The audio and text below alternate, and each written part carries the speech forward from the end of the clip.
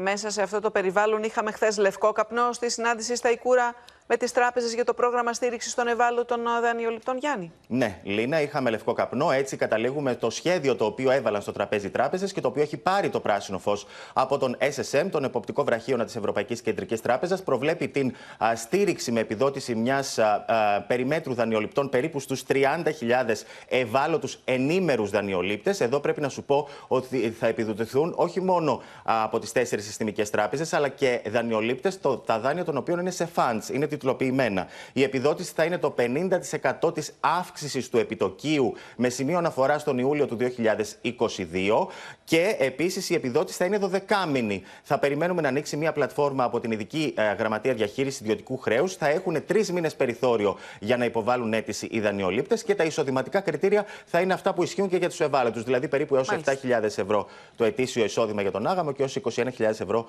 το α, εισόδημα εν συνόλο, Λίνα.